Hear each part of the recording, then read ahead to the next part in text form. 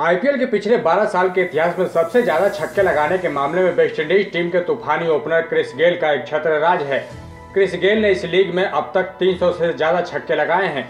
वहीं दूसरे नंबर पर साउथ अफ्रीका के दिग्गज बल्लेबाज एबी डिविलियर्स का नाम है, जिन्होंने 200 से ज़्यादा छक्के इस टूर्नामेंट के इतिहास में जड़े हैं।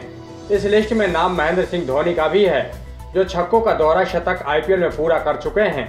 दरअसल क्रिस गेल ने जहाँ आईपीएल में 326 छक्के जड़े हैं जबकि एबी डिविलियर्स 212 छक्के अब तक इस लीग में ठोक चुके हैं।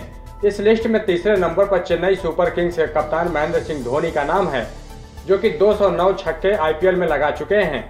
आईपीएल में 200 या इससे ज़्यादा छक्के लगाने वाले एम एस धोनी भारत के एकमात्र पहले बल्लेबाज बन गए हैं, लेकिन उनके पीछे पीछे विस्फोटक बल्लेबाज रोहित शर्मा भी चल रहे हैं, जो कि उनको पीछे छोड़ सकते हैं और छक्कों का दौरा शतक आईपीएल में पूरा कर सकते हैं।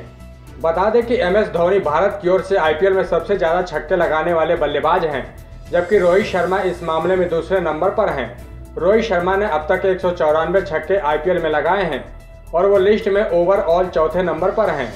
अगर आईपीएल 2020 शुरू होता है तो इस लिस्ट में काफ़ी बदलाव देखने को मिल सकता है।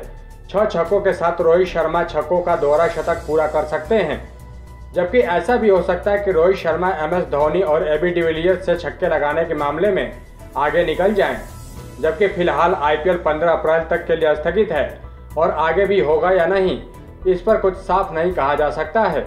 तो दोस्तों, अगर आप भी महेंद्र सिंह धोनी के सबसे बड़े फ़ैन हैं तो इस वीडियो को लाइक ज़रूर करें।